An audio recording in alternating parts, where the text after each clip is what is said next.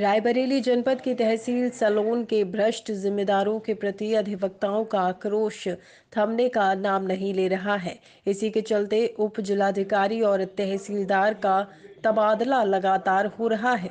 अपनी मनमानी के चलते तहसील प्रशासन से अधिवक्ता कार्य बहिष्कार करते रहते हैं, लेकिन इसका कोई भी असर देखने को नहीं मिल रहा कि कार्यशैली को लेकर अधिवक्ताओं में काफ़ी समय से आक्रोश देखने को मिल रहा है।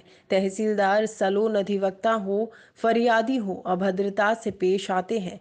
ऐसे में तहसील प्रशासन के खिलाफ तहसील बार एसोसिएशन सलोन के अधिवक्ताओं में काफ़ी समय से आक्रोश देखने को मिल रहा है। योगी सरकार की किरकिरी कराने में लगा तहसील प्रशासन। सलोन अब देखना ये है कि इन कार्यशैली में सुधार होता है या नहीं। एडवोकेट तहसील सलोन। क्या कारण है जो आज आप लोग एकत्र हुए? हम अधिवक्ता समाज के वंचित को न्याय दिलाने का काम करते हैं। और यहाँ पर जो अधिकारी हैं, उनकी मनमानी कार्यशैली है तानाशाही पूर्ण कार्यशैली है, भ्रष्ट आचरण शैली है, जिसके कारण वादकारियों को न्याय नहीं मिल पा रहा है। तहसीलदार सलून का आचरण मर्यादा के विपरीत है। वो वादकारियों से सही ढंग से बात नहीं करते हैं। उनकी पैरवी करने कोई अधिवक्ता जाता है साथ में तो उससे भी ढंग से बात नहीं करते हैं।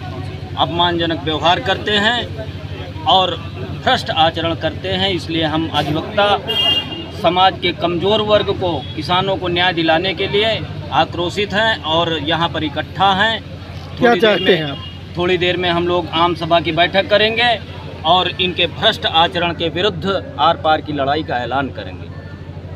हिंदी अंग्रेज़ी माध्यम प्री नर्सरी से कक्षा पाँच तक BKS convent school, Sarvottam kids care Swabhimanpuram, Tulsipur road, Balrampur. Mobile number nine four one five zero three six zero two zero.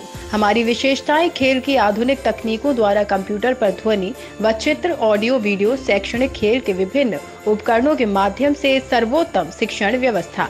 Inverter, generator एवं कैंट आरओ के पेयजल की व्यवस्था। प्रबंधक मृदुला सिंह, सह प्रबंधक अभिषेक प्रताप राष्ट्रहित लैपटॉप का जमाना है, बस्ते का वज़न घटाना है।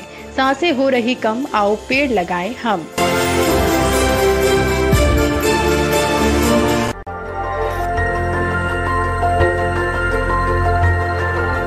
देखते रहिए डीवी भारती समाचार।